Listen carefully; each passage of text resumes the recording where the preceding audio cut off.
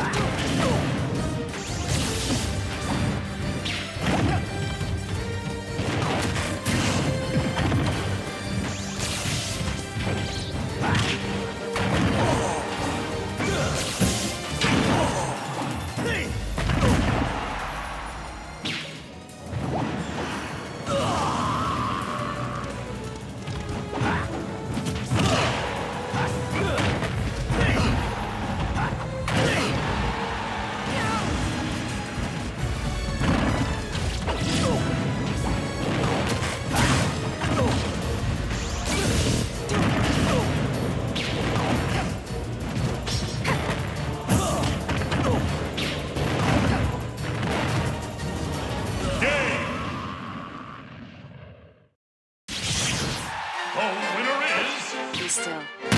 Zero Suit Samus.